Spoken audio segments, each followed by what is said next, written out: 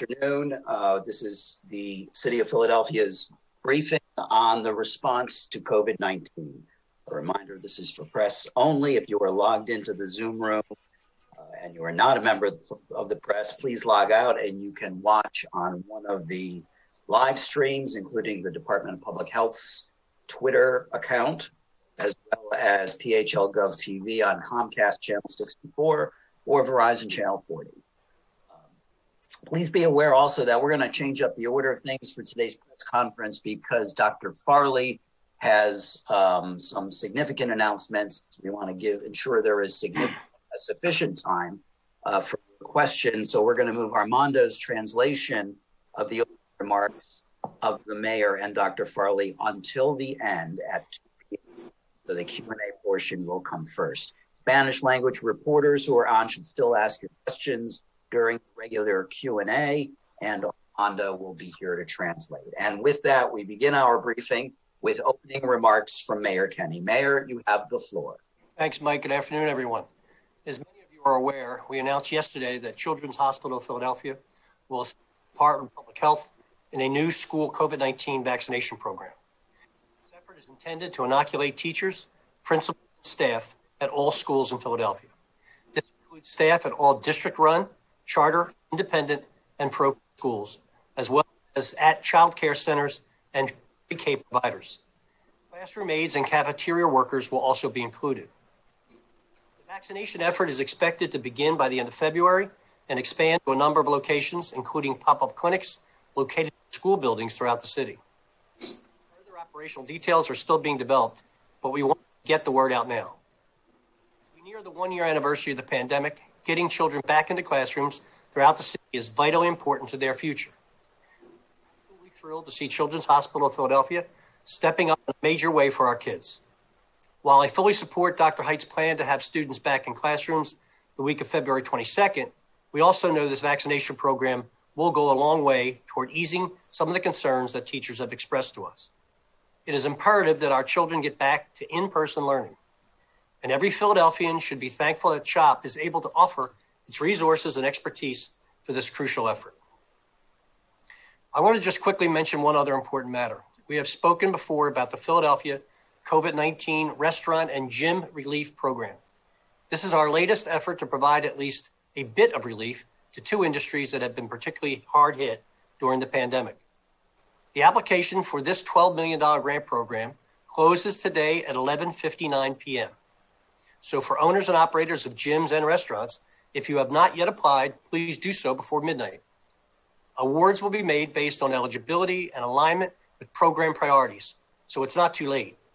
Grant awards are estimated to be up to $15,000 per business. Businesses can apply online at phila.gov forward slash RGRP. That's phila.gov forward slash RGRP. On that site, we also have a list of organizations that can help businesses fill out the application, including translation and technological assistance. However, most of these community organizations are only available during normal business hours. So you need to reach out soon if you need assistance applying before the deadline. And now Dr. Farley has a couple of other important announcements. Thank you, Mayor. Our COVID case counts are falling in Philadelphia.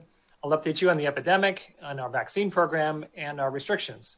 First, the numbers. Since this time yesterday, we've identified 473 new cases of coronavirus infection in Philadelphia residents confirmed by the PCR test, bringing us to a total confirmed case count of 109,183 since the beginning of the epidemic, and an additional 99 new probable cases diagnosed by the rapid antigen test. Now, for the past week that ended on February 6th, we averaged 303 cases per day. That's the PCR test and the antigen test combined. So far, we expect more to come in later. And of those people tested, 6.2% of the tests were positive. Now, for comparison, the week before, uh, we averaged 371 cases per day, and 6.3% of the tests were positive. So our case counts are still high, and we still need to take precautions. But it's nice to still see that continued downward trend. As far as deaths, we have eight new deaths identified today, bringing us to a total of 2,955 since beginning the epidemic. Now, we peaked at somewhat over 100 deaths per week in late December, And in January, we're averaging about 60 to 80 deaths per week. That number has generally been falling with the declining case counts. Now, let me move on to vaccination. First, let me just say I realize that many people want this vaccine, and I'm really glad that they do want this vaccine. But also, I know that many people continue to be frustrated that they can't find a way to get it. Uh, because of the limits on doses and because of our vaccination capacity, that is the, the situation we're in right now, and we are working on all that. Our, we have three guiding principles as we go forward here. First, to get the vaccine out as fast as possible to people. Second, to do it in a way that saves the most lives to those people whose vaccination would prevent the most serious infection. And third, to do it with racial equity. We have more work to do in all three of those areas, but we are making progress. First, let me talk about our vaccine supply. Continue to have limited uh, vaccine supply, but there's some moves in the positive direction here. This week, we're receiving 10,700 doses of the Pfizer vaccine, and our Moderna vaccine uh, allocation increased to 14,400 from a little more than 10,000 before. In addition to that, there's a new federal pharmacy partnership that is bringing in an additional 4,900 doses of Moderna vaccine to Rite Aid pharmacies specifically. Now, that's welcome. Those increases are great. But remember, we have 1.2 million adults in the city of Philadelphia, so it's still going to be many months before everyone has an opportunity to get vaccinated. Now, also, off not too far in the future, the Johnson & Johnson vaccine is likely to be approved. And the best estimates are that it may be shipped to Philadelphia around March 1st. And this vaccine has a couple of major advantages. It's only a single dose rather than two doses, and it can be kept in a refrigerator. It doesn't need to be frozen. However, it is somewhat less effective than the other vaccines. Uh, the numbers that come out of the press release from the companies, we haven't seen the studies yet, are that it's 72% effective at preventing infection, but it's 85% effective in preventing severe disease, which is more important. Now, as vaccines go, that's still a very good vaccine. I would highly recommend people get the vaccine if they have the opportunity uh, but it is not quite as good as the Moderna and the Pfizer vaccines that we're giving right now. Now, initially, the Johnson & Johnson vaccine will come to us in very limited doses. Based on what I've heard at the national level, I'll estimate that our initial allocation may be between 5,000 and 10,000 doses only. And it's unclear how we'll get, how many doses we'll get after that. But still, this is one more weapon in this battle, and that's very much welcome. Let me talk about how we're doing with administration of our vaccines. As of this past Sunday uh, night, we reported vaccinations in 121,250 people for their first doses, and 50,000 people of those have received their second doses. So far, most of those people who have been vaccinated are healthcare workers. Now, the other people who are eligible in phase 1A are people who live uh, in, in uh, nursing facilities or, or facilities like that. So there are teams from the pharmacies that have visited 83 nursing homes, assisted living facilities, and personal care homes and 42 of those sites now have had two visits and then delivered 17,600 doses. So we are making real progress amongst the people who are clearly the most vulnerable for serious, serious disease. So we're now in phase 1B, as we said before, and we'll be in this phase for many weeks. That includes people who are frontline essential workers, and we're continuing to vaccinate our first responders, people in the jail, uh, service providers who work with vulnerable populations, and soon transit workers. Uh, people also eligible now are people who live and work in congregate settings like behavioral health facilities, people over the age of 75, and people who have high risk medical conditions, especially those with cancer, chronic kidney disease, organ transplant, and diabetes. So, how's the vaccine being made available now? For hospitals, they are inviting patients to their facilities who meet those criteria, who are over the age of 75 or chronic medical conditions. And they're bringing them into their clinics to be vaccinated. Likewise, the federally qualified health centers and other clinics like that are inviting their patients in to be vaccinated. That started out fairly slowly, but that should increase this week. Then we have mobile teams that are going out primarily to behavioral health facilities to vaccinate people in those facilities. Then, one area that's growing uh, fairly substantially is pharmacies. We now have ShopRite, three locations, and Walgreens with 11 locations, and Rite Aid uh, offering vaccination. The Rite Aid currently has 26 locations, and that'll be expanding to 77 locations this weekend. Now, the eligibility for these pharmacies is going to be age 75 or older. For Rite Aid, they're still working on healthcare workers, but they'll be shifting to age 75 this weekend. So we're really trying to target these pharmacies for those people who are elderly, who are extraordinarily high risk. So we're asking people if you're under the age of 75, please don't sign up for a vaccine at a pharmacy. The systems won't easily screen you out, but that's not what this is about. If you do go there and you're younger, then you're basically preventing somebody else who is over the age of 75 from being vaccinated. Those are the pharmacies that will have a vaccine this week. More pharmacies will be announced in the future. Then, in addition to that, we have our mass clinics. Now, they're mass clinics run by the health department at the convention center. This past week, we've been doing the second dose clinics for people who received their first dose from Philly Fighting COVID. In the last week, we vaccinated more than 2,500 people. That was Tuesday through Saturday. And this week, from the 9th to the 13th, we'll be vaccinating approximately 4,400 people. Then there will be an increasing number of mass clinics that are run by hospitals. The first one to talk about today is one run by uh, a, a, combination of Mercy and the Penn Medicine System. They're going to be the Church of Christian Compassion this Saturday, February 13th. It's a single cl- clinic to uh, vaccinate people in one particular um, community, uh, and but so that's not the overall citywide strategy. That's just one of many mass clinics I hope that you'll be hearing more about in the future. So more to come on that. And then there are mass clinics run by the Black Doctors COVID Consortium, and I hope more organizations in the future. In addition to that, the health department will be doing an ongoing series of mass clinics beginning the week of February 22nd. Now, there are three sites that have been chosen so far, so far to run those clinics.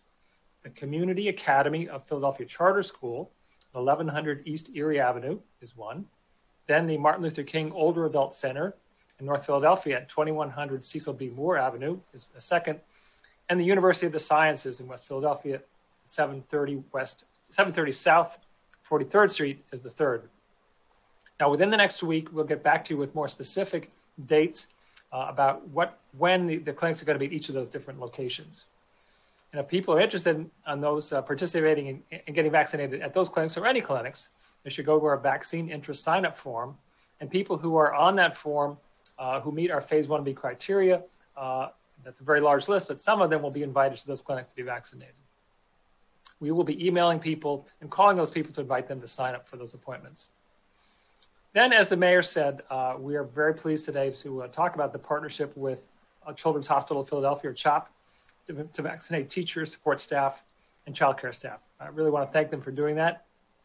Now, there are many details to be worked out, but here's the current plan. The vaccines will be offered at the Roberts Center on the CHOP campus, plus six different school based locations.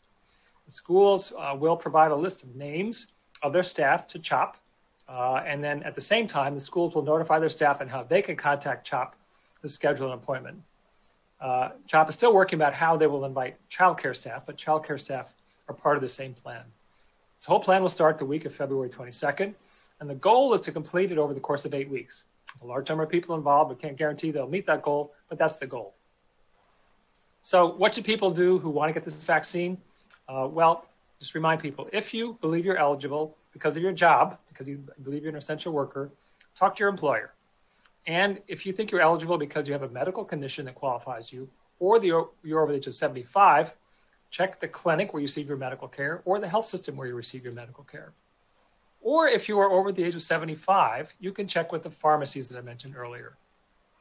And if you're anyone else or you're not sure, then put your name into our database, www.phila.gov slash vaccine interest.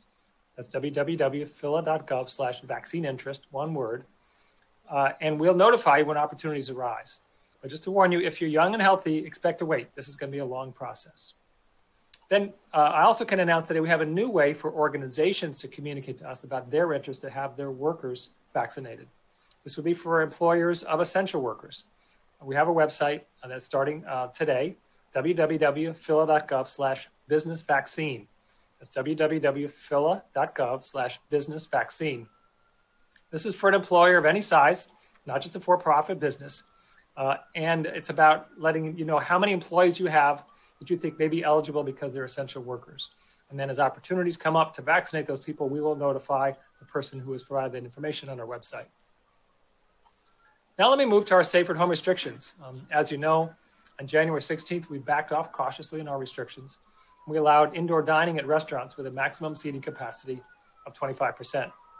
Now, we know that outdoor dining is safer than indoor dining because of the much better ventilation that you get outdoors.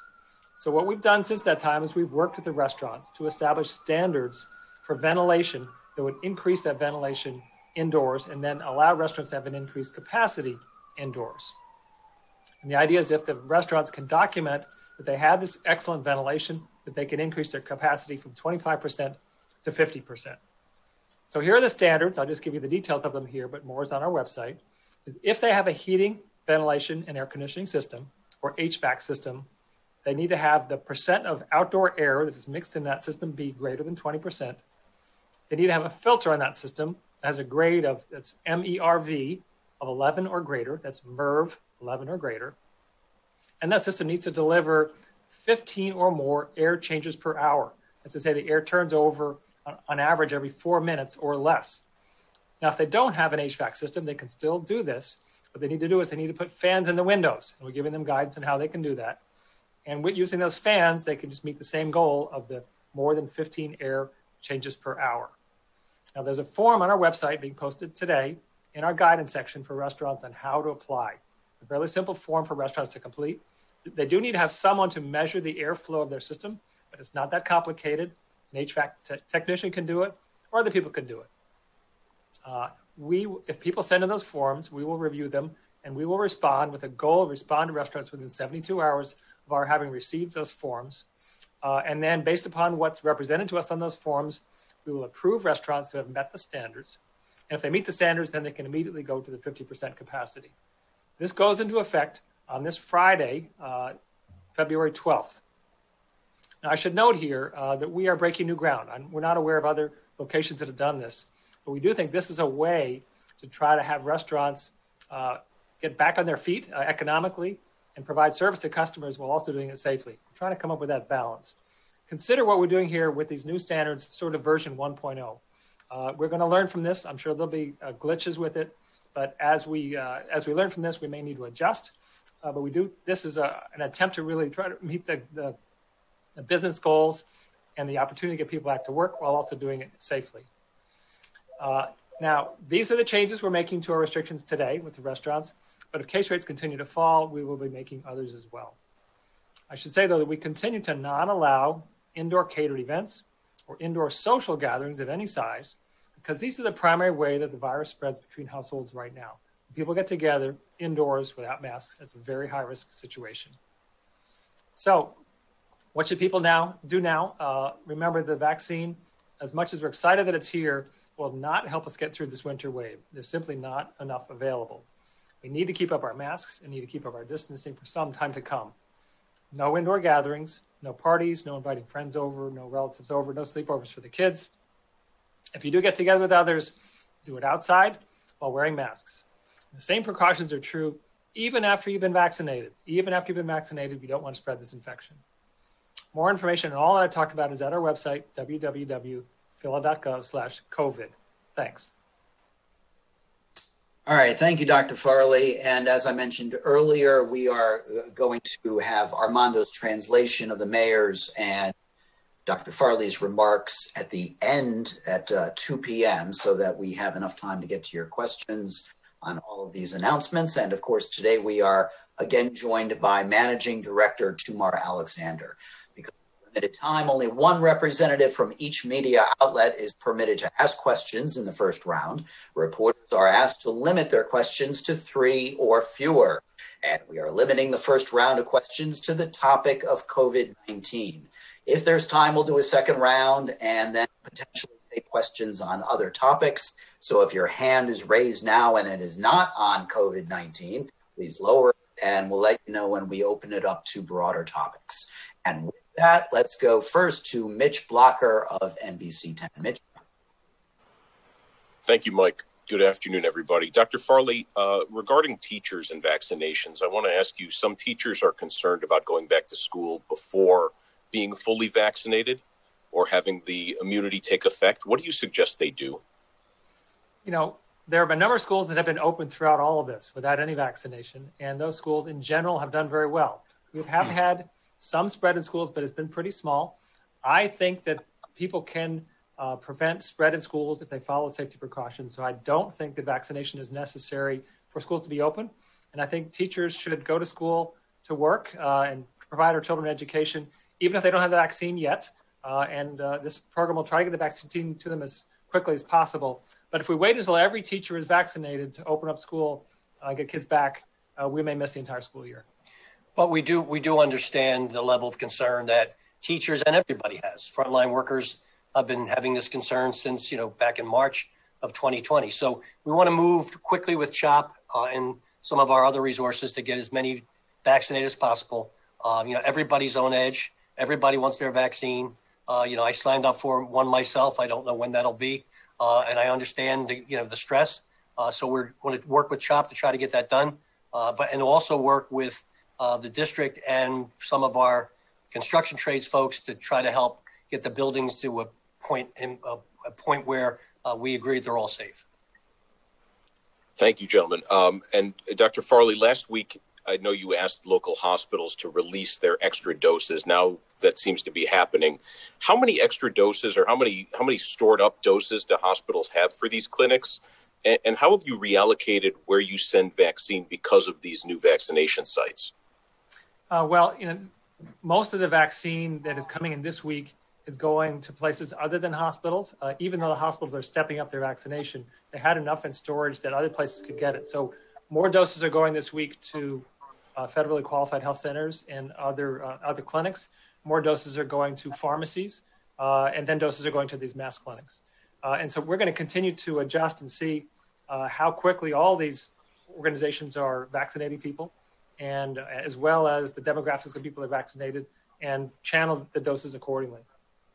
It, but is there is there an overflow supply in hospitals right now? You know, there is vaccine stored um, in hospitals and clinics and pharmacies. There is a certain inventory uh, throughout the system. Uh, it's more than I'd like it to be. I'd like you know every dose to be in people's arms, uh, but it was definitely enough in the, the hospitals that we felt that this week they didn't need to have any doses that we could channel it to other other sites. But also, in my, dis- my discussion with hospitals, um, you know, a, a, lot of those will be used for their current uh, patients who have underlying conditions. So they'll be scheduled to get in uh, cancer patients and others. So there's a need for them to have some some bit of um, um, stock in order to uh, vaccinate those folks. And in addition to the second doses, right? People that they've already vaccinated, they need to make sure there's enough when they come back for the second doses. But we're going to have to just be as, you know, monitoring this as close as we can to try to to match the, the rate at which they administer with the doses that come in. And let me ask you one, one, one quick question about the mutations. Have you seen any sign that any of these COVID mutations are, are taking hold in the city? And do you think vaccinations at some point will outpace the mutations' ability to infect? You know, I, from what I, we know in the city that some of the uh, the new variants have been identified, so we know that they're here in the city. Uh, it's unclear to us how, what fraction of the uh, viruses that are circulating there have these variants.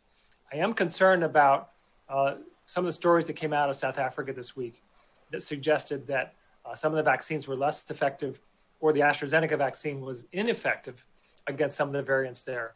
Uh, so I am concerned about that. I think that's something we need to watch closely.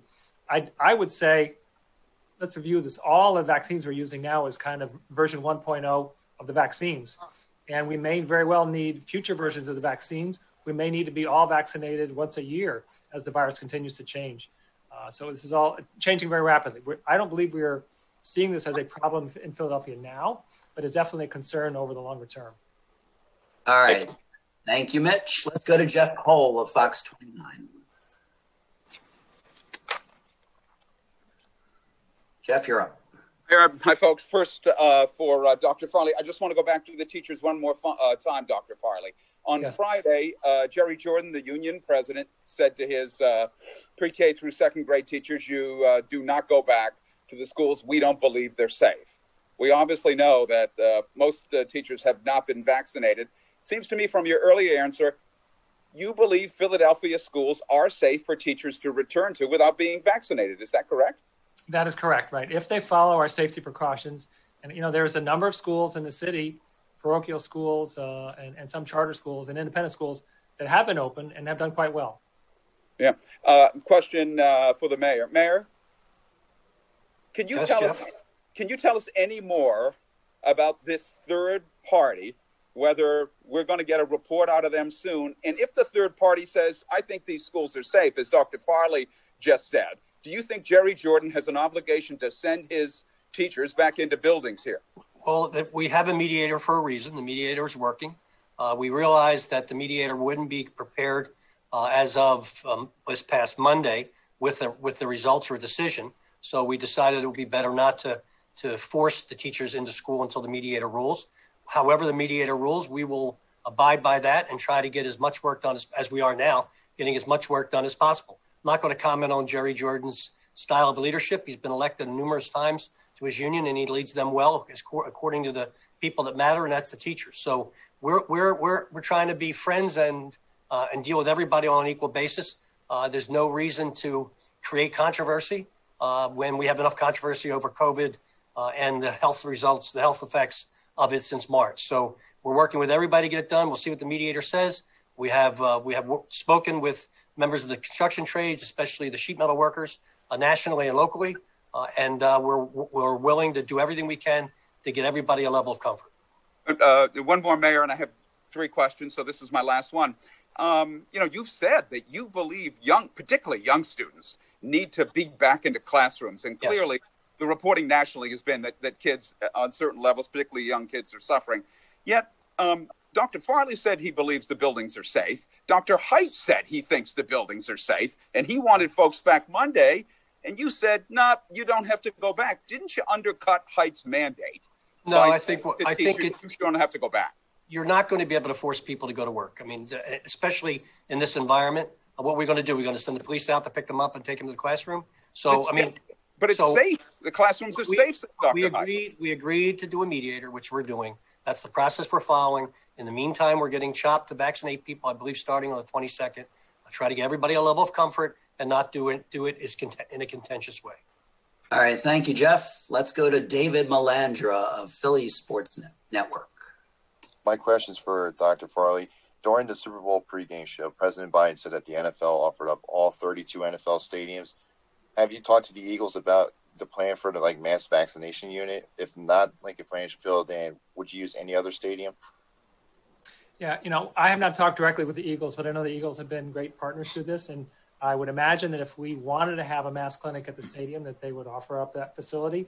Uh, I don't think that that's the best way to get uh, vaccine available right now. The, uh, we have a limited number of doses. If we ran a mass clinic down there, we would be vaccinating more people from New Jersey or Delaware uh, than we would from the city of Philadelphia, and we only are given doses appropriate to the population of the city of Philadelphia.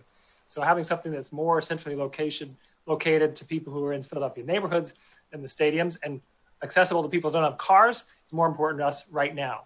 Now that may be different in the future uh, when we have more vaccine available, but at the moment we're not uh, pursuing that. All right, thank you. All right, thank you, David. Let's go now to Sean Walsh of the Inquirer. Thanks very much. Um, a couple of my questions got asked, but um, Dr. Farley, will the city be, with the new ventilation rules for restaurants, will the city be verifying um, that restaurants have done this or, or just kind of accepting the form and, uh, or, or alternatively, could they do follow-up inspections later, that type of thing? Yeah, it's the latter, so that we will at first just accept the information they've given to us on the form. They have to attest that this they've done a real measurement and that have met the standards. But then when we do our routine inspections or inspections on complaint, uh, if they're not in compliance, then they may get a violation for that. On complaint, okay. Uh, wait, did you say on complaint or on like a random inspection? Either one. So we do routine inspections on a random basis where everyone gets at least one inspection per year. But we also will inspect if there's a complaint by anybody about any problem with that restaurant. Uh, and if we're doing a, a complaint-based inspection, then we would do this measurement. Thanks. Um, and Mayor Kenney, uh, on the schools issue, um, if the mediator does say schools can reopen as, as the district is trying to, what can you do to convince parents or teachers um, that this is safe, given the sort of disagreement right now? Continuing to make improvements to the school safety. As obviously, we've been working over this period of time on lead and asbestos. Uh, we will be taking um, advice from again experts in in air purification or air handling uh, to to make those changes. Uh, and look, everybody, as I said from the beginning, um, everybody's on edge. Everybody's stressed out. Everybody wants a vaccine. Everybody wants to be proof or positive that they're not going to get it. Uh, and that's what's created all this. And what's really created it all is having an administration before this one uh, in Washington that was not prepared for anything. So, like as I said before, from PPE to testing to vaccine availability to uh, distribution of vaccine. They failed miserably in every every every segment, and we're picking up the pieces. And I think we're doing a good job, and we're trying to move forward. So we'll see what the mediator says, and we'll make the correct we'll make the the correct improvements, and uh, hopefully we can have a decent end of the school year. Given last questions, given what we're hearing about the outcomes for students not being in school, uh, especially their mental health and their learning progress. Do you wish, in retrospect, that the district had reopened or taken the steps it's taken now earlier in the school year? I mean, there's lots of things. Look, there's there's lots of things going on in the city, lots of things going on in the country, uh, and we're moving as fast as we can. And um, all I'm saying is we're trying to get people in a position where they feel safe, where parents feel safe about their kids, and where kids can back, get back to school. So I can't speculate on what should have or could have or would have been done. Thanks. All right, thank you, Sean. Let's go now to Maggie Kent of 6ABC. Everybody, this is a question for both Dr. Farley and the mayor. Um, I understand that there are strict guidelines now for restaurants to be able to open and have people inside. Will those same airflow guidelines be applicable to our school buildings since kids are there for eight hours a day? So the uh, just to be clear, the standards for restaurants are if they want to have an enhanced capacity. Any restaurant in Philadelphia right now can open up at 25% capacity. But if they want to go to 50% capacity, then they have to meet these enhanced ventilation standards. Uh, a restaurant is different from a school. Uh, a restaurant is particularly high risk because people are not wearing masks because they're eating.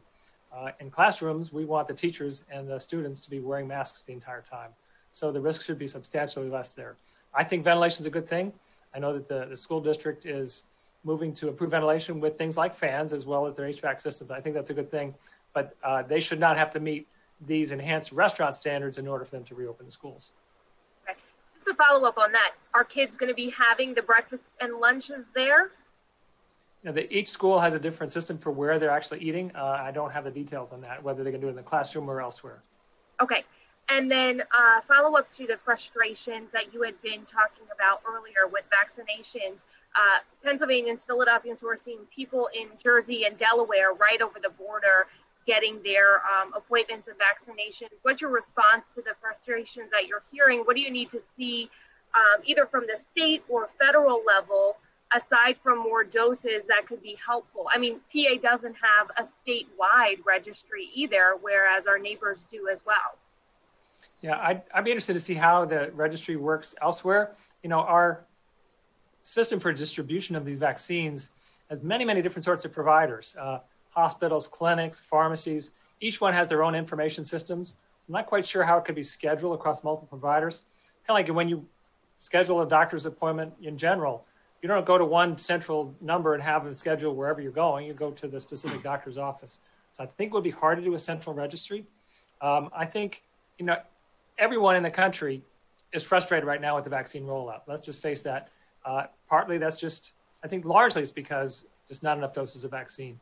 Uh, but also, this is a new program uh, where everybody wants to be vaccinated at once, and uh, having all the providers develop their systems to deliver that vaccine is something which doesn't happen overnight. Uh, and so, you know, we're we're going to work through our, our problems as, as quickly as we can. The other places are facing their own problems, uh, and and you know nobody's going to be happy until we get over the hump where the people most eager have been vaccinated. I think we'll be there uh, in a few weeks, uh, but during that time, it's just going to be tough for everybody. Thank you. Thank you, Maggie. Let's go to Brian Mendoza of Telemundo. Brian, you're up, and we do have Armando here for you. Thank you so much for that. Um, hola, buenas tardes, Armando. La primera pregunta es si el llamado eh, para vacunar a los maestros es en respuesta a las protestas que realizaron ayer. Y si eso es así, ¿por qué no tener un plan para vacunarlos antes de tiempo si es que los queremos que regresen a las aulas de las escuelas. Mando, you have to unmute, please. The question is whether the plan to vaccinate teachers is in response to the protests that were had yesterday. And if that's the case, what wasn't there a plan to have the teachers be vaccinated before their return to the classrooms? Now, the plan to vaccinate teachers was not in response to the protest yesterday. The you know, we have our uh, frontline essential workers on a priority ranking. Uh, there's a table there. Uh, starts with first responders and works on down the list.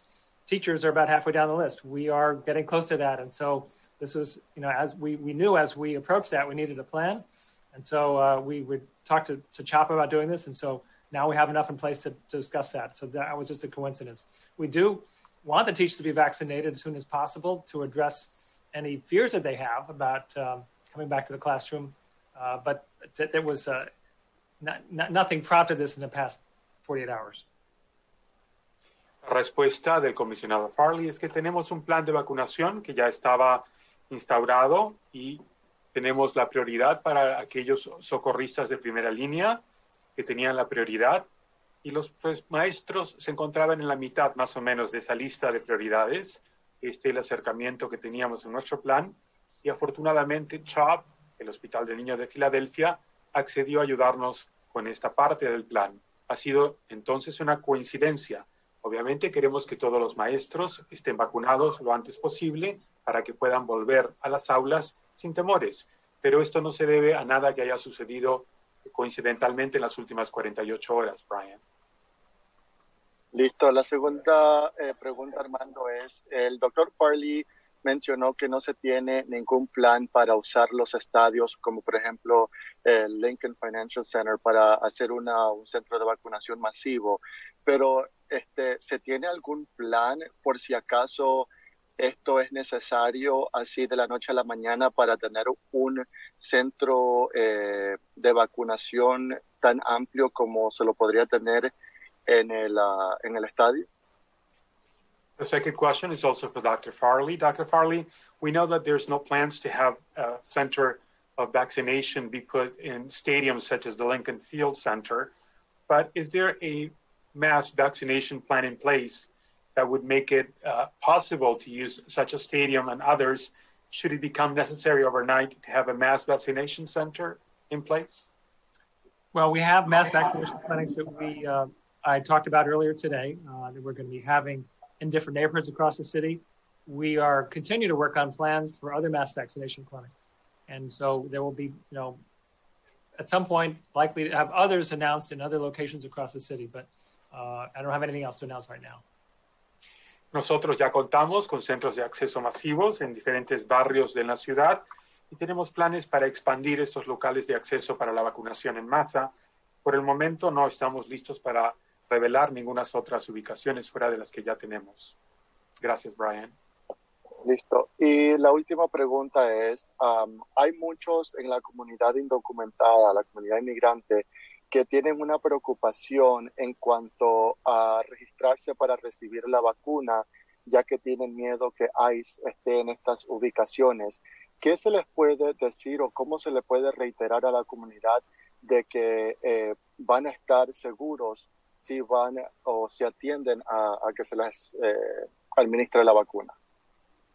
My third question has to deal with the undocumented immigrant community uh, who's uh, holding fears of signing up for vaccination, fearing that ICE may be around. And what would the city say, and what would be the message to reiterate to these communities in regards to their safety as them uh, as they sign up for vaccination?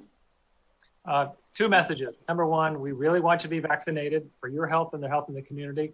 Number two, uh, we do not and will not share your name with ICE.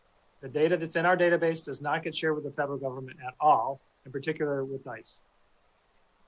Tenemos dos mensajes para la comunidad inmigrante indocumentada. El primer mensaje es que queremos que se vacune por su propia salud y por la salud de toda la comunidad.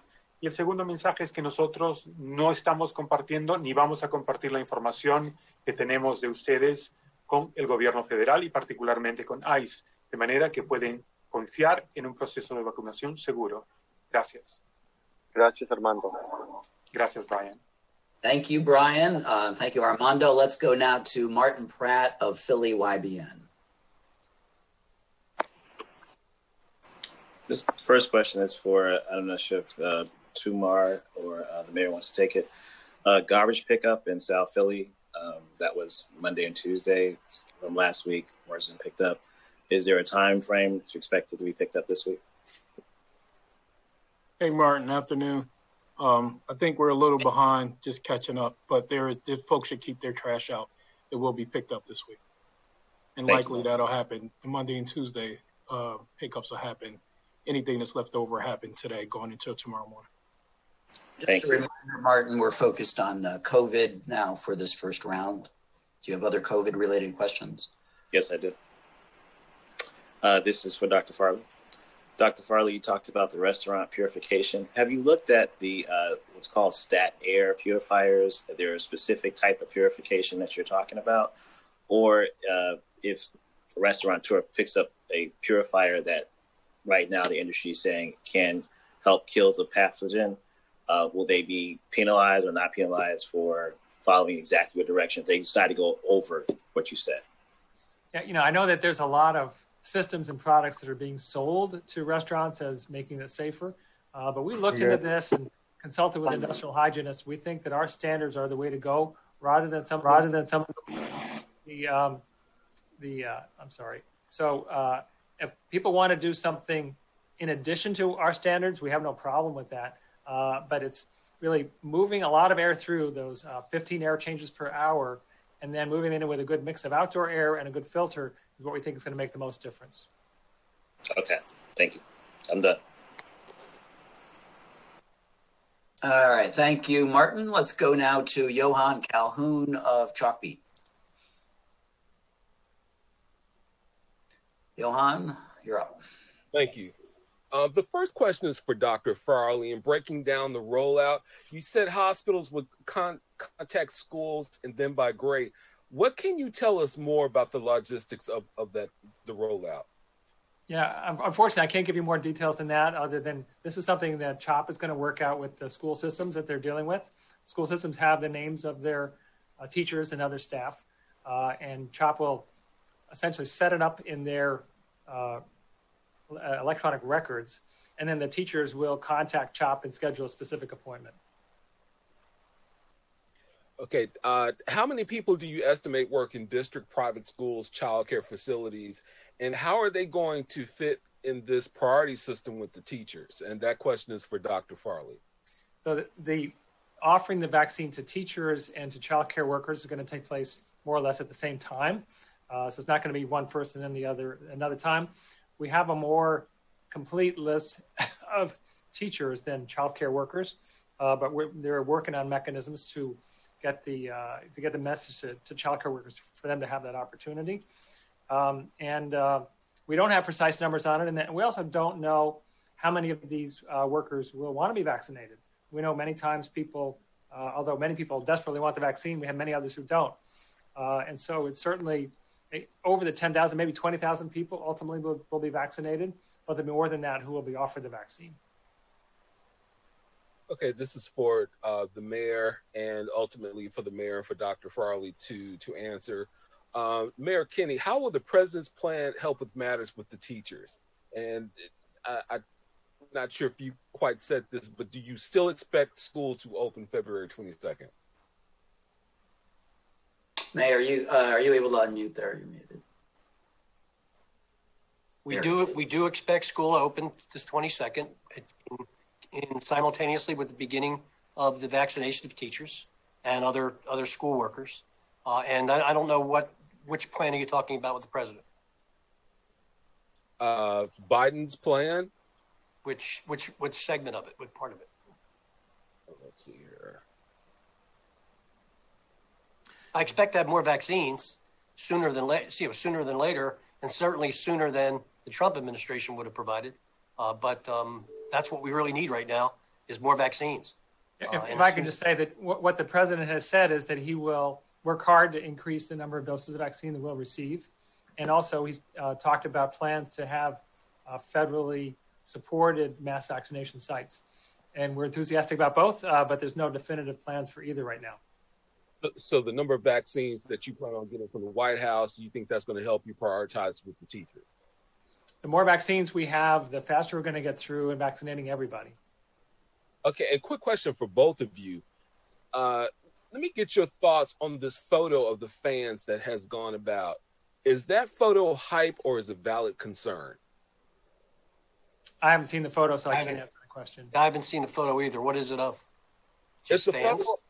It's a photo of um, plastic temporary fans that you can possibly get at, at a dollar store, and they are connected to wooden planks.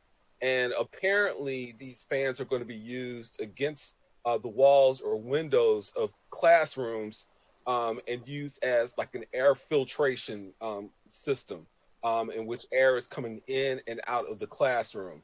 So uh, I attended many of the protests yesterday, and many of the signs that I saw um, had the picture of this photo of this fan. And so, Johan, uh, what I suggest is if you could email that photo to the press account, um, and we can check uh, with the school district on uh, whether or not there's any uh, veracity uh, to, to, that to that claim. Doc, doctor, could you at least talk about fans because they seem to be denigrated uh, yeah, on a regular basis, and I think they're being short-sighted. But again, so, well, I could just talk about the general issue, and that is the, the goal is, is, to improve ventilation in the same way that we're improving ventilation at restaurants. Uh, and one of the things we've learned is that a very simple fan in the window can make a big difference in how much ventilation you have in that room. So that's why one of the options for the restaurants to meet our standards is to put fans in the windows. Uh, and so this is what the school district has proposed in some of these older buildings where they really can't upgrade the HVAC system. And I think that that is a great solution to a, a, a real problem where we want to increase the ventilation and we need to move quickly. Uh, so I haven't seen the picture, but the general concept makes a lot of sense to me. Thank you. I'm emailing you the photo now. Great. Thank you, Johan. Let's go to Claudia Lauer of the Associated Press. Claudia, could you unmute? Sorry. Thank you. Um, I just had a brief couple of questions. I, I know that 1B includes first responders. I was wondering if, if there's any um, information that you guys have heard about whether or not police and firefighters are, are taking advantage of the of the vaccine being offered to them, or if you're getting any hint that there's a resistance, um, if the, the departments are offering incentives that you know of. Uh, police and fire are definitely getting vaccinated. There's a certain number being vaccinated every week. I can't give you numbers on what percentage of their uh, force are agreeing to be vaccinated. No one's being required to be vaccinated, but they're definitely being vaccinated. Okay, so you've seen the, a, a positive response from from a lot of the, the, I guess a lot is a hard thing, but you've you've seen a positive response so far. We know that many people are being vaccinated every week. Yes. Great, thank you. Claudia, is that it? Yep, that's it. Thank you. Let's go to Jack Tomczuk of the Metro. Thanks for taking my question. Um, Dr. Farley, uh, this is about the pharmacies, and I know you said they're going to be mostly for 75 and older. So is that going to be through the vaccine interest form, or is that something where older residents should be contacting these pharmacies now and calling around to see, you know, who has openings? You know, they, they can do either. Uh, the many of these, uh, it's just opening up, and many of these links get um, overwhelmed immediately, and, and, so it may be somewhat difficult either way. Uh, but uh, it, you know, they can certainly contact the, the, pharmacies and see if they get an appointment, or they can uh, get it in our vaccine interest form and we'll route it. And uh, I think you mentioned with the CHOP partnership that the CHOP's going to be offering it at one of their buildings and six other sites. Do you have those sites? No, I, we don't have that information now. I don't think they've been decided yet. Okay, and uh, with the three sites for the health department's mass vaccination site, are there are they going to be um, returning locations or recurring clinics there, or is it just going to be one time clinics there? Likely, it'll be recurring. Okay. Thank you. All right, thank you, Jack. Let's now go to Argenis Figueroa of Univision. Okay, good afternoon, everyone. You hear me? Okay. Yes, go ahead. Mayor, Dr. Farley, good afternoon. Um, my question gonna be for both, um, pero voy a necesitar, Armando, que me traduzcas, por favor. Uh, la primera pregunta es sobre, para, puede ser para el alcalde y también el doctor Farley. Uh, ayer vimos una protesta de maestros frente al distrito escolar porque no se sienten seguros de entrar a las escuelas sin ser vacunados. Ahora con la incorporación del hospital de niños para este proceso, ¿creen que será el fin, que podría ser el fin del conflicto actual sobre justamente esta preocupación de los maestros? Yesterday, this is a question that can go both for Mayor and Dr. Farley. Yesterday, we've seen some protests of teachers in front of the school district building because they don't feel safe about coming back to the classrooms. Now that there is a program in set in place with CHOP to have them vaccinated, do you think this will be the end of this protest from teachers? I mean, certainly people, organized labor, individual individual people have a right to protest anytime for any reason about any issue. Uh, teachers are organized and they're articulate and they uh, have a definite opinion about things, whether it's this particular program or whether it's uh, curriculum or uh, plant conditions in the school, and they have a right to express those opinions. So, do I think it will stop protests? No. I think that there'll be other issues in a very old school district that's underfunded by the state. Uh, and um, yeah, we're going to continue to have issues that pop up, and we're going to work together with them uh, to, to rectify those issues. El alcalde nos responde de que eh, el, los trabajadores organizados y la gente en general cuenta con el derecho de protesta y obviamente los maestros son gente organizada y son gente que articula sus quejas de una forma vocal.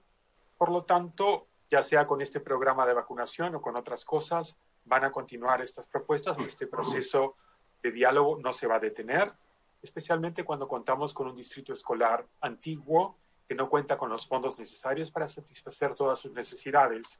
Si no sea este tema, va a ser otro tema los maestros van a continuar protestando probablemente como temas de currículo, no solamente la vacuna, pero nosotros vamos a trabajar juntos con ellos reconociendo su derecho de protestar y comunicarse. Gracias. gracias. Eh, mi próxima pregunta será para el doctor Farley. Y es que cerca del 3% de personas vacunadas en la ciudad son hispanas. Eso nos lo dijo un portavoz del Departamento de Salud y, atribuye esto principalmente es a que la mayoría están siendo administradas, la mayoría de las vacunas están siendo administradas en hospitales. ¿Está el departamento actualmente conversando con estos centros de salud que sirven a los hispanos? ¿Cuál sería el estatus de estas conversaciones y cuál sería la planificación para que los hispanos tengan acceso a las vacunas? About, this is a question for Dr. Farley, mostly. About 3% of the people vaccinated in the city are Hispanic, and a spokesman for the Department of Health has attributed this fact mainly to the fact that most of the vaccines being administered are being administered in hospitals. Is there a dialogue ongoing now with the health centers that serve Hispanics? Where are those conversations going and the planning, and eventually to have them vaccinated? Yeah, so we are under vaccinating uh, Hispanics in the city, and we, we recognize that. And we are directing more vaccine to those clinics that serve uh, that population. Uh, and uh, they're really just getting started, but we are directing more vaccine, and it's important to us that they vaccinate more of their patients. Uh, in addition, we've had just in the past 24 hours or so um, meeting with um, advocacy groups that, that represent that community to try to figure out how to do better outreach to that community and bring them into vaccination sites. Efectivamente, nosotros no estamos vacunando tantos hispanos como debiéramos y pudiéramos, y estamos tratando de transmitir instrucciones a estas clínicas comunitarias para que traten de llegar a la mayoría de sus pacientes y sus clientes. Eh, también nosotros estamos tratando de incorporar más clínicas y más centros. Nosotros estamos teniendo conversaciones, las hemos tenido en las últimas 48 horas, con grupos de abogacía de esas comunidades para llegar a ellos porque tenemos la intención de vacunarlos y llegar donde ellos estén. Gracias. Muchas gracias a ustedes. ¿Cómo no, Argenis? Argenis, are you, uh, are you all set? Yeah, I'm set. Thank you. Let's now go to David Merrill of Philadelphia. Hi, uh, first question. I'm wondering who will mostly be eligible at the three health department first shot clinics. I mean, given that the pharmacies are taking care of the and hospitals are taking care of the you know over 75 and health condition workers, is it the case that basically that will be predominantly essential workers at those healthcare or sorry city clinics? Uh, more likely, it's going to be people who uh, have um, high risk medical conditions, uh, particularly if they're from zip codes where they're they've been under vaccinating uh, in those areas. And so uh, now there may be people over the age of 75, but those sort of neighborhood based clinics are, are less for um, essential workers than uh, other opportunities. So at this point, if you're an essential worker and you are getting vaccinated, where, where's the most likely locale that that would be taking place at present? you know, each one is going to be handled differently. Uh, you know, so we're working directly with police and fire, for example, and we're working directly with SEPTA. Uh, and then you, you're hearing the plan today for teachers uh, through CHOP. So we, you know, we're, we're taking those groups, uh, each one in a, a, somewhat different plan. Right. Um, relating to the teacher CHOP plan, um, do you could you share a little bit about like how many additional weekly doses CHOP will be getting for that effort, and sort of given the eight, eight week goal timeline that you laid out, sort of what the ideal pace of weekly vaccination for teachers will be? Yeah, I can say that we we think we can supply them with enough to to whatever's necessary. Uh, we figured out. I mean, our, our best guess is that perhaps 20,000 people will be vaccinated as part of that. And so, over a period of weeks, we know that we can uh, provide 20,000 doses. And just the the 20k is is, is that total number of staff or the percentage of staff you think likely to take the vaccine? It takes into account the percentage that we think are likely to take the vaccine. So the number could go up or down from there, but we think we can support them either way. Um, and then just the last question I had, um, I'm, and I, this is kind of asking you to speculate, Dr. Farley, but um, I'm just wondering about, given the lowering, consistently lowering case counts in Philadelphia the last few weeks, um, I'm curious if you, as it relates to the, the potential presence of the variant, if if you think that necessarily means that the variant is perhaps not as prevalent here as it is elsewhere, or that it may be, but the, the restrictions that currently exist are just doing well enough to, you know, sort of check any potential, you know, spike due to the variant. I mean, do you have any sort of inkling one way or the other where, where you would land on that question? Yeah. So first, there there's more than one variant. Uh, there's the one from the United Kingdom, which we know is in this country, and is it's a pretty small percentage of the uh, viruses that are circulating, but growing rapidly. Uh, on the other hand, if you look at what's happening in the United Kingdom right now, case rates are falling very rapidly. So it does seem like the restrictions can prevent spread even with the United Kingdom variant. More concerning to me is the variant uh, from South America, or South Africa rather, and perhaps ones from Brazil, uh, where the vaccine may be less effective. Uh, so I would say right now I'm optimistic that the steps we are taking are keeping the uh, the virus uh, rates going down, and will continue to do so for at least another two or three months. After that, all bets are off whether one of these variants uh, comes into play and whether that might uh, cause rates to go up, or, or, whether at that point we will have enough people vaccinated to prevent that from happening. Thanks. All right. Thank you, David. And finally, we will wrap up our questioning today with Pat Loeb of KYW. Uh, Mayor Kenney, you said you'd signed up for a vaccine. Are you in Group 1B? No, I'm in 1C, I believe. I went on the city site, signed up for it, put in all my all my things that are wrong with me. Um, uh, usually it just over, um, and uh, they said accepted, uh, and we'll contact you when you have a spot. And I'm expecting it till I'm hoping like you know April, May, or whatever. So we'll see. Okay, so people can sign up now Yes. even if they're not in one. I mean, you're not going to get it. You're not. You're not going to get a date when you, when your information's accepted, but you will get confirmation that you're in you're in the queue uh, based on your age, uh, your other conditions around you, your conditions in your body, your your weight, your all those things. Uh, you'll be given a date to come in. Great. Thank you so much. That's why everybody needs to wear their mask. All right. Thank you, Pat. And uh, thank you, everyone, for uh, joining us. We um, do have one last quick question that I'm going to try to squeeze in from Jimena Conde of WHYY, who asks about the um, homicides that took place in Philadelphia. I know we have Erica Atwood um, here with us. Um, uh, Mayor and Erica, I don't know if you have uh, could spare a minute to just address this question to, to comment on the uh, rash of homicides in the last 24 hours. Erica, you, why don't you go ahead? Sure. Um, uh, good afternoon, everyone. Um, my name is Erica Atwood. I serve as Senior Director for the Office of Policy and Strategic Initiatives for Criminal Justice and Public Safety.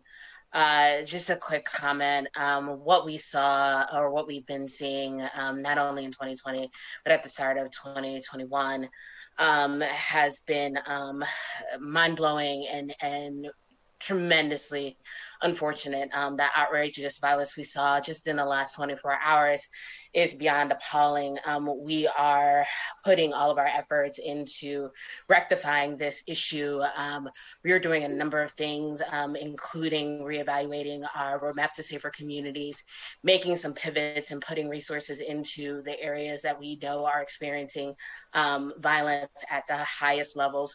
We're working in concert with PPD, uh, Police Department, on these efforts. We are also working with a number of operating departments to not only um, do some interim um, kind of stop gate uh, uh, repairs to what's happening in, the, in neighborhoods. Um, but we are putting all of our resources towards kind of environmental issues as well. Um, we uh, are looking to kind of put forth a new framework for the roadmap in the next few weeks.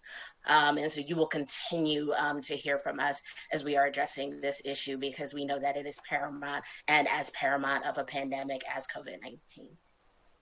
Uh, thank you, Erica, and thank you, Jimena, for uh, posting that question in the chat. And with that, we will conclude the Q&A and move now to Armando for the Spanish language translation of the mayor's and Dr. Farley's opening remarks. Palabras del alcalde Jim Kenney para el 9 de febrero del 2021. Buenas tardes.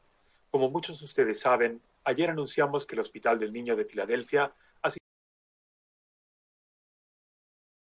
en un nuevo programa de vacunación contra el COVID-19. Este esfuerzo conjunto tiene como objetivo vacunar a los maestros, directores y personal de todas las escuelas de Filadelfia. Este grupo incluye a los trabajadores de todas las escuelas autónomas, independientes y parroquiales que administra el distrito escolar, así como los centros de cuidado infantil y a los proveedores de pre-kinder. Se espera que el esfuerzo de vacunación comience a finales de febrero y se expanda a varios centros de vacunación de la ciudad, incluyendo las clínicas emergentes dentro de las escuelas de Filadelfia. Aún estamos trabajando para ultimar detalles operativos, pero queríamos compartir esta información con nuestros residentes. A medida que nos acercamos al primer aniversario de la pandemia, lograr que los niños regresen a las aulas en toda la ciudad es de vital importancia para su futuro. Por lo tanto, me emociona profundamente ver que el Hospital del Niño de Filadelfia está dando un paso adelante de manera importante para nuestros niños. Si bien apoyamos plenamente el plan del Dr. Haidt de tener a los estudiantes de regreso en las aulas la semana del 22 de febrero, también sabemos que este programa de vacunación contribuirá en gran medida a aliviar algunas de las preocupaciones que han expresado los maestros. Es imperativo que nuestros niños vuelvan al aprendizaje en persona, en especial los más pequeños. Y todos los habitantes de Filadelfia debieran estar agradecidos a que el Hospital del Niño, o CHOP, por sus siglas en inglés, pueda ofrecer sus recursos y su experiencia para impulsar esta importante iniciativa. Quería mencionar rápidamente otro asunto importante. Hemos hablado antes sobre el programa de ayuda a los restaurantes y gimnasios afectados por la crisis del COVID-19 en Filadelfia. Este esfuerzo fue creado para brindar al menos un poco de alivio a dos industrias que se han visto particularmente afectadas durante la pandemia. La solicitud para este programa de subvenciones de 12 millones de dólares cierra hoy a las 11.59 de la noche. Por lo tanto, este mensaje va dirigido a los propietarios y operadores de gimnasios y restaurantes, si usted aún no ha presentado la solicitud, hágalo antes de esta medianoche. Las subvenciones se otorgarán en función a la elegibilidad y la alineación con las prioridades del programa, por lo que no es demasiado tarde para ingresar su solicitud. Las subvenciones se estiman hasta en 15 mil dólares por empresa. Las empresas pueden presentar su solicitud en línea yendo al sitio fila.gov barra diagonal RGRP. En este sitio web también tenemos una lista de organizaciones que pueden ayudar a las empresas a completar la solicitud, incluyendo servicio de traducción y asistencia tecnológica. Sin embargo, la mayoría de estas organizaciones comunitarias solo estarán disponibles durante el horario comercial normal, por lo que deberá comunicarse pronto si necesita ayuda para presentar su solicitud antes del plazo límite. Y esta es la actualización en materia de salud para el día 9 de febrero del 2021 el número de casos felizmente va disminuyendo. Hoy proporcionaremos actualizaciones sobre la epidemia e información actualizada sobre la disponibilidad de las vacunas. Y comenzamos con los números para el día de hoy. Hoy confirmamos 473 nuevos casos por prueba PCR, con un total de 109.183 casos confirmados. Hay 99 casos nuevos probables detectados por la prueba rápida de antígenos. La semana pasada, del 31 de enero al 2 de febrero, el promedio de casos diario fue de 303 casos al día, basados en las pruebas PCR y de antígenos, y el 6,2% de pruebas fueron positivas. Esperamos que esta cifra cambie ligeramente. Semana anterior a esa, del 24 al 30 de enero, el promedio había sido de 371 casos por día, con un 6,3% de pruebas positivas. El número de casos sigue siendo alto, por lo que todavía necesitamos tomar precauciones, pero es importante también destacar que estamos viendo una tendencia a la disminución. Y en relación a las muertes, hoy, lamentablemente, identificamos ocho muertes, con un total de 2.955 personas fallecidas. Nosotros habíamos alcanzado un máximo de aproximadamente 100 muertes por semana a finales de diciembre. En enero registramos un promedio de entre 60 a 80 muertes semanales y este número podría ir disminuyendo. Pasando a la vacunación, nos hemos dado cuenta que muchas personas quieren la vacuna. Hay muchas personas también que siguen frustradas por no poder recibirla aún y nos disculpamos por esto. Pero tenemos límites en cuanto a las dosis que hemos recibido y a nuestra capacidad de vacunación. Estamos basando nuestro trabajo en tres principios rectores.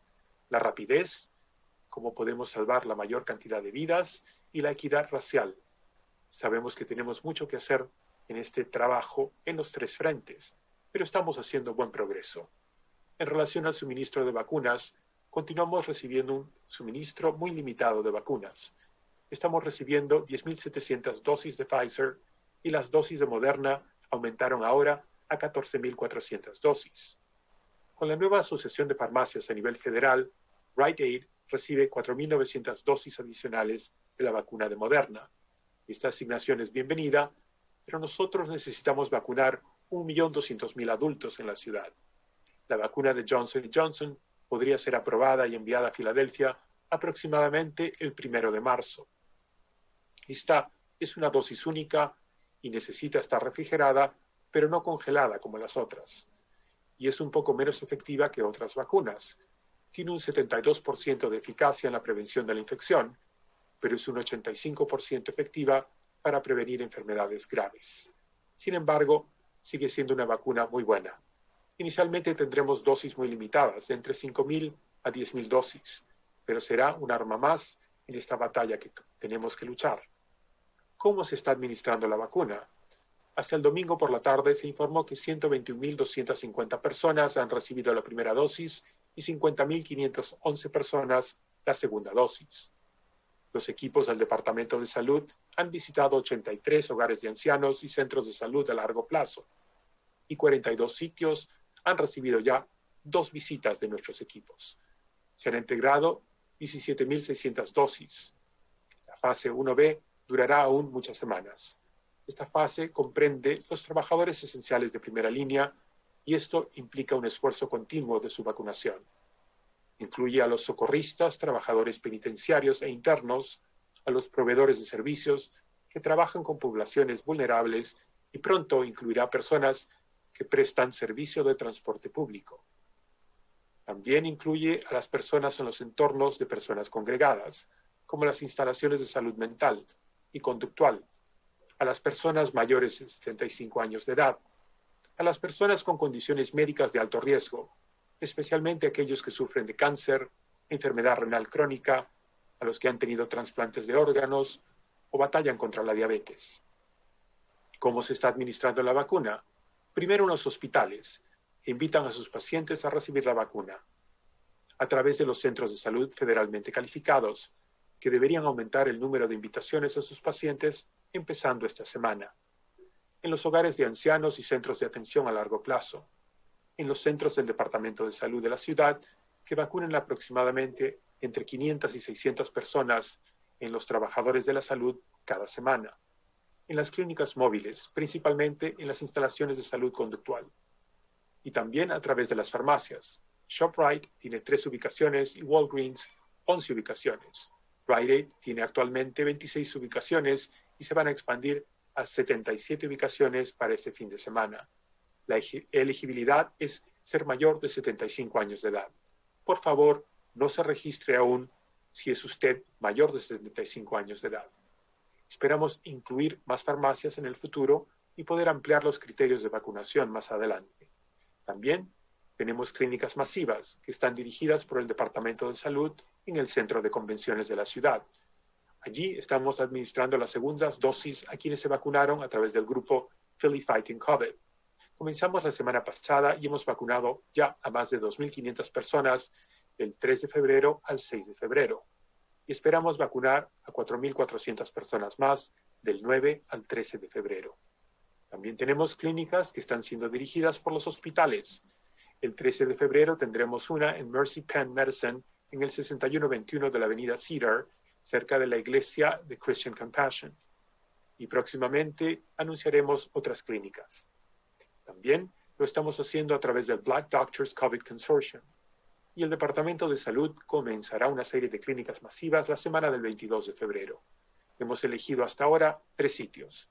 El Community Academy of Philadelphia Charter School, en la parte noreste de Filadelfia, en el 1100 este de la avenida Erie. El Martin Luther King Outdoor Adult Center, en el norte de Filadelfia, ubicado en el 2100 de la avenida Cecil B. DeMoore. Y en la Universidad de las Ciencias, en el oeste de Filadelfia, ubicada en el 730 sur de la calle 43. Invitamos a las personas a que cumplan con los criterios de la fase 1B y empiecen a registrarse en el portal de la ciudad. Les estaremos enviando correos electrónicos y estaremos llamando a las personas cuando haya citas disponibles. Anunciaremos la próxima semana más información sobre los planes de las clínicas masivas que tiene planificado el Departamento de Salud. El Hospital del Niño de Filadelfia también nos ayudará a vacunar a los maestros, al personal de apoyo y al personal de cuidado infantil. Por esto les damos muchas gracias al Hospital del Niño de Filadelfia. El personal de las escuelas públicas, las escuelas autónomas, privadas y parroquiales recibirán la vacuna. Aún quedan detalles por resolver, pero este es el plan que tenemos actualmente. Las vacunas serán administradas en el Roberts Center for Pediatric Research y aproximadamente en seis jornadas de vacunación. Las escuelas proporcionarán una lista de nombres al personal del Hospital del Niño y le notificarán al personal cómo comunicarse con el hospital para programar una cita. Aún estamos trabajando de cómo invitar al personal a cargo del cuidado infantil. Comenzaremos la semana del 22 de febrero y la meta se completará aproximadamente en ocho semanas. Si usted quiere recibir las vacunas, este es el procedimiento. Si es elegible por su trabajo, debe usted hablar con su empleador para que llene el formulario de planificación para empleadores. Si usted tiene una condición médica o tiene más de 75 años de edad, por favor consulte con su hospital o con el sistema de salud de la ciudad. Si tiene más de 75 años, usted puede obtener la vacuna a través de la red de farmacias. Si usted no está seguro, puede registrar su interés en recibir la vacuna yendo a fila.gov barra diagonal vaccine interest. Si usted es joven y saludable, aún debe esperar. Anunciamos también una nueva forma de comunicarse con nosotros. Si usted es un empleador de trabajadores esenciales, debe registrarse en fila.gov barra diagonal business vaccine. Esto se indica para cualquier empleador de cualquier tamaño y no solo para las empresas con fines de lucro. En cuanto a las restricciones del plan Más Seguro en Casa, el 16 de enero retrocedimos con cautela en las restricciones iniciales. Permitimos el servicio en el interior de restaurantes con una capacidad máxima del 25%. Sabemos que comer al aire libre es más seguro que comer en interiores debido a la ventilación. Estamos trabajando con los restaurantes en la ventilación estándar para aumentar la capacidad en interiores. Si los restaurantes pueden lograr una ventilación excelente, pueden aumentar hasta en un 50% su capacidad de asientos en el interior. Los estándares con que contamos, si es que tienen calefacción o sistema de aire acondicionado central, es que el porcentaje del aire que viene del exterior sea mayor al 20%. También deben usar filtros MERV 11 o de categoría superior. Tiene que haber cambios de aire por hora, que tiene que ser mayor a 15 cambios en cada hora.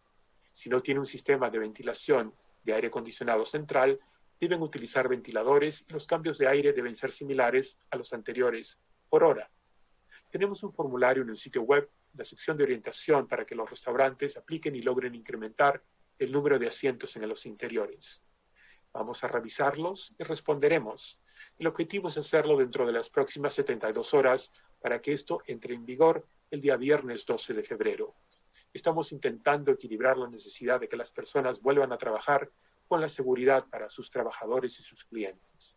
Y esto se puede considerar como la versión 1.0 de este plan, que se ajustará a medida que aprendamos de estos estándares. No tenemos previsto realizar otros cambios por ahora, pero si las tasas de los casos continúan cayendo, podríamos tener otros cambios. Aún seguirán prohibidos los eventos en interiores, las reuniones sociales en interiores de cualquier tamaño, debido a que estas son las formas principales de propagación del virus entre los hogares. ¿Qué debería hacer la gente ahora? Saber y entender que la vacuna nos ayudará a superar esta ola de invierno, pero no totalmente, porque no hay suficientes vacunas disponibles. Tenemos la necesidad por entonces de seguir manteniendo el uso de las máscaras y observar el distanciamiento social. No se permiten las reuniones en interiores. Si usted necesita reunirse con otras personas, hágalo al aire libre y utilizando sus mascarillas. Debe usted seguir observando estas precauciones incluso si ya ha sido vacunado. Juntos y solamente juntos podremos superar esta gran prueba. Muchas gracias.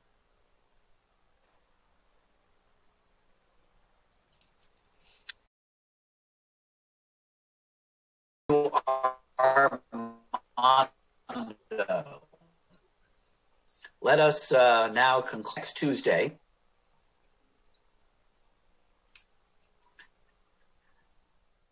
On at 1 p.m. Thank you.